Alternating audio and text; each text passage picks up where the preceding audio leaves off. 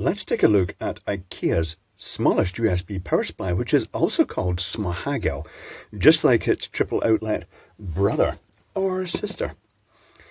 And uh, this, depending on the country, you'll have either the connectors will come out the side or they'll come out the back. In the case of the UK, we've got our big chunky square pin plug and it comes out the back. Now, it's notable that this thing is only rated. At this point, I have to say, this does not fit in this way. I'm going to have to turn it upside down. This thing is only rated about 1 amp at 5 volts because it's actually designed for powering low power devices. But IKEA say it's one of these things, just plug it in and leave it in all the time. It's uh, perfectly safe to do that. So here is a suitable tester. Let's zoom down in this so you can see the digital display better. So currently displaying 7 milliamps, holding 5.03 volts, I'm turning it up. It's rated for 1 amps, maybe I'll just turn it right up to oh, over 1 amp. It's still holding at 5 volts at over 1 amp.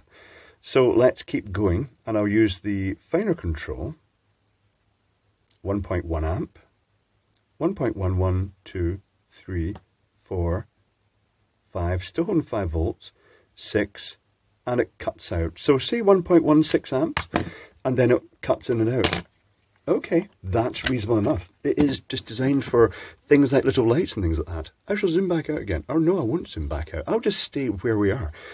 I'm not sure how easy this is going to be to open as my usual brute force approach of ramming something in here and then trying to force it apart going to work.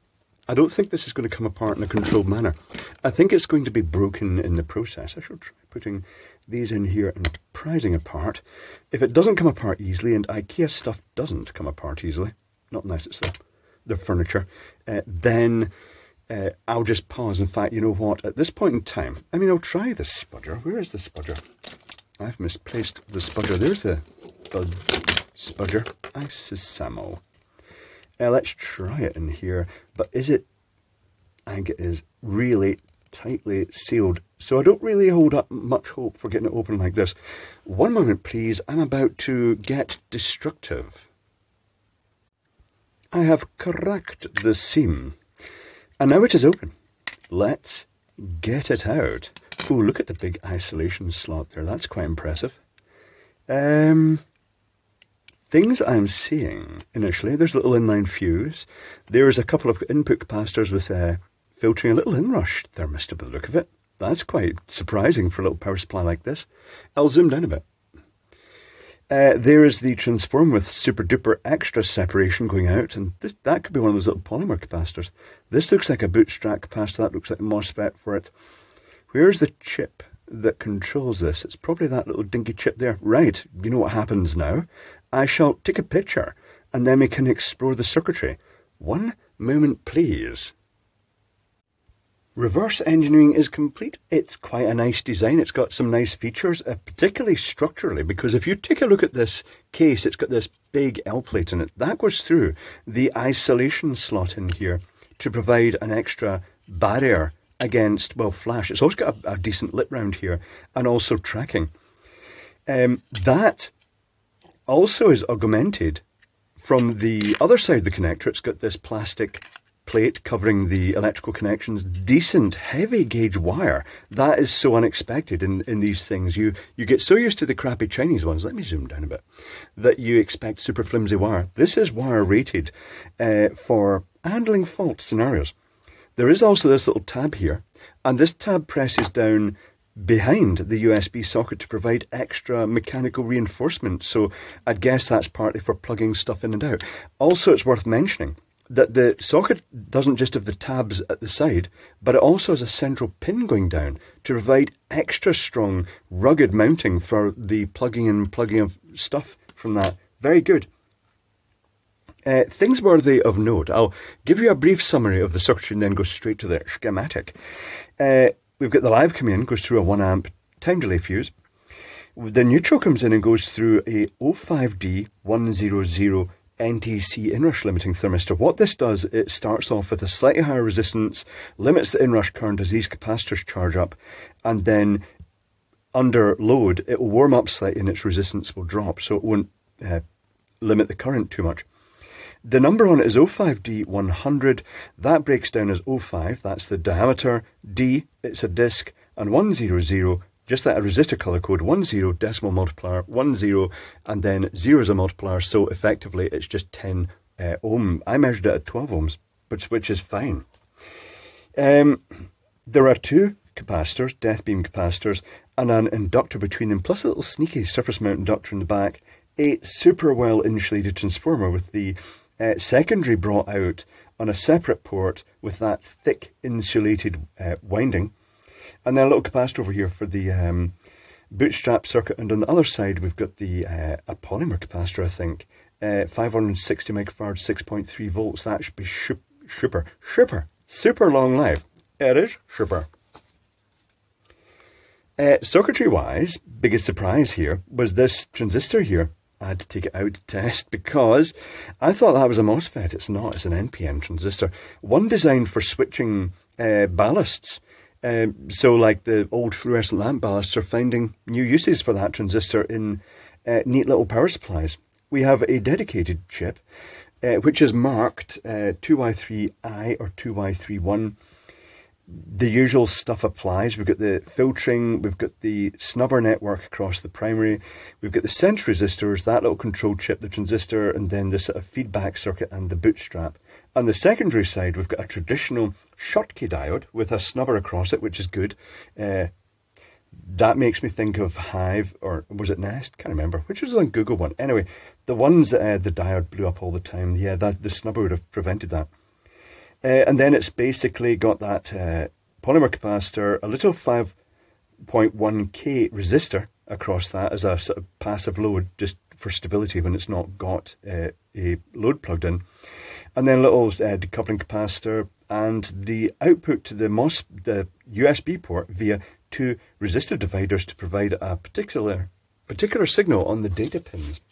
Let me bring in the schematic and then sneakily while nobody notices, draw in that extra one that I missed, that 5.1k resistor. 5.1k resistor. 5.1k. That's that little extra shunt resistor that just provides a load that stops a voltage across this capacitor creeping up too high when there's no load and the, this unit is just pecking at the output just to keep it awake. Um, the incoming supply well, let me zoom down this. I really have to zoom down it. There we go. Make it fit. Uh, incoming supply, there's the 1 amp fuse, there's the little NTC thermistor that is so cute. Uh, bridge rectifier, and then a 4.7 megafarad 400 volt capacitor through a tiny little surface mount inductor.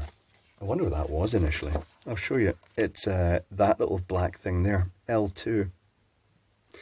Uh, that is that little surface mount inductor. There is the main uh, through-hole component inductor for filtering.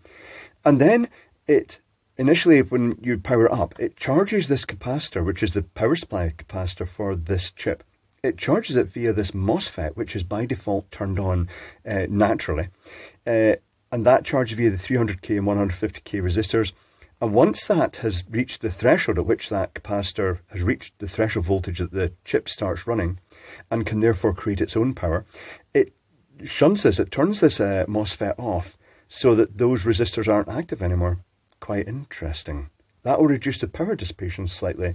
Also, it's supposed to have advantages of running high voltages across resistors, but uh, that's not such a huge thing. I think it is purely the tiny little power saving that it adds to it.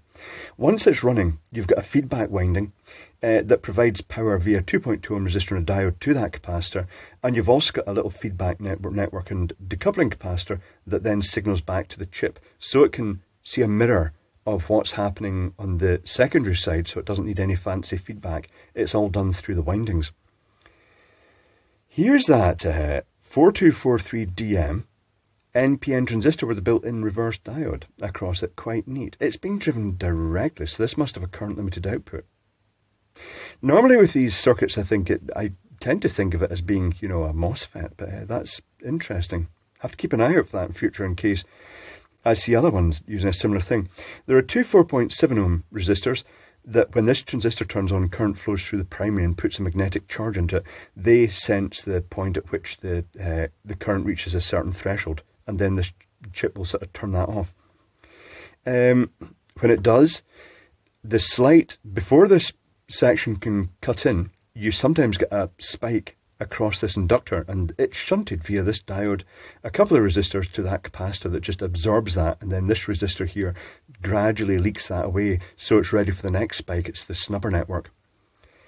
Um, there's a class Y capacitor between the two zero volt rails, zero volt, zero volt, but they're completely separate zero volt rails.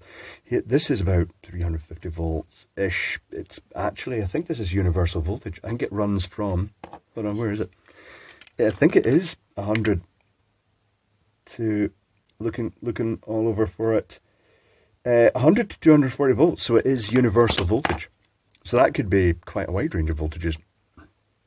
But the current is covered across. As the this turns off, the magnetic field collapses, and that's the point that this little diode diverts it through to this polymer capacitor. There is the little snubber network because uh, Schottky diodes, although they're very fast, which is their main advantage, are very bad at dealing with reverse voltage spikes.